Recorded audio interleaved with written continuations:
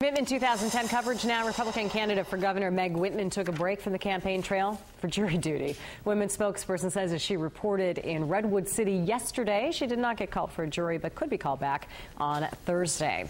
KCRA 3 is going to be the only station bringing you two debates between Whitman and Democrat Jerry Brown. The first one will be live at UC Davis on September 28th.